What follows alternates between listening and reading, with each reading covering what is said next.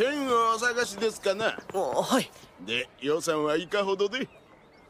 あえっと。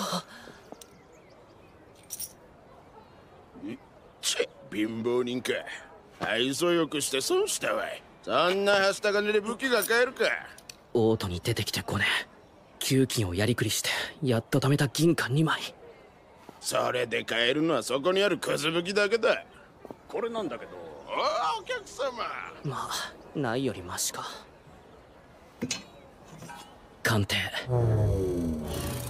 耐久性強度ゼロか。鑑定。これもか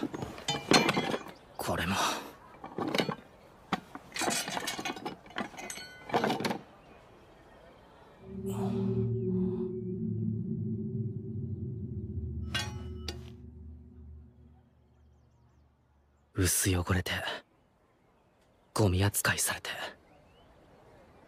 まるで俺みたいだ。おいお前。喋った！今確かに剣が喋ったよ。なグリード片手剣。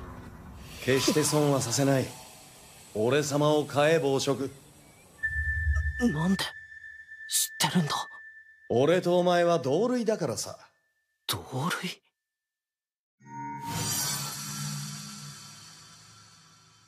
こいつもいいな。さすがお客様目が高い